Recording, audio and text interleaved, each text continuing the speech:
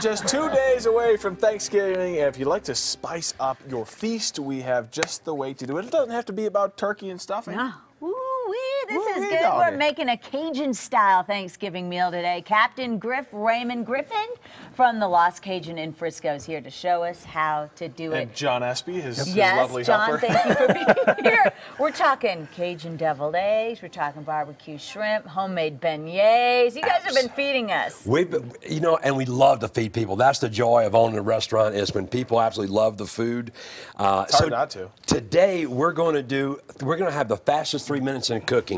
Today in Louisiana we have a thing called a trilogy. Okay, Okay. onions, bell pepper, celery. Mm-hmm. Add a little garlic in there, and we like to use really vibrant colors: the red, orange, yellow. Okay. The bell peppers, the celery. You can see the lemon and so forth. So the first thing we're going to do is we're going to make some Cajun-style deviled eggs.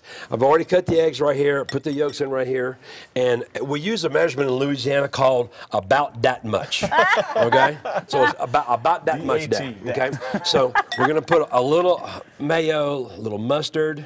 And we're going to take and add a little bit of pickle relish. How much relish? About that much. About that much. To your and then we're going to take and we're going to add some Tony Chachere's. Uh, And you can, you can buy that in any local uh, So food good. store.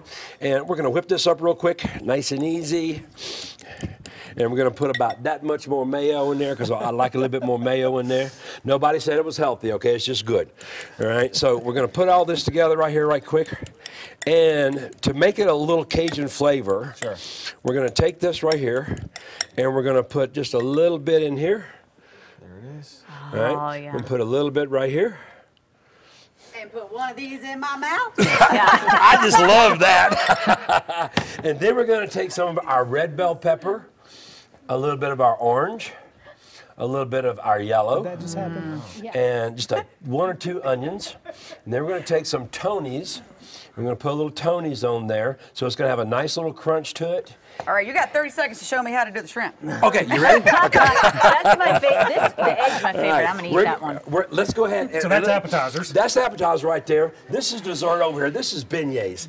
One of the great things uh, I'm going to show everyone about beignets is you can go to your local market and buy any kind of biscuit, just a regular biscuit. 10 seconds. Roll it out, flatten it out, and fry it up. That's it. Yeehaw! The Lost Cajun from Frisco. Y'all are Thank you so much. Mm. Have a great day.